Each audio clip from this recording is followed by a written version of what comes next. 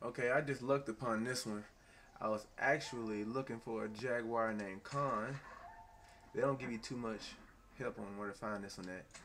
It's down in Nuevo Paraiso, down in south of the border, south of Chuparosa. That's where I am. You'll see this little rock bridge. All you do is climb up here. The horse, it can make it. Go around this little ledge, and right underneath the overhang, you'll see a pile of rocks right there.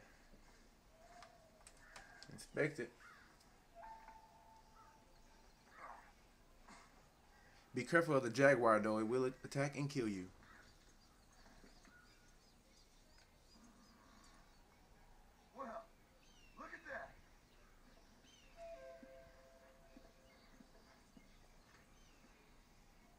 There it is. Thank you.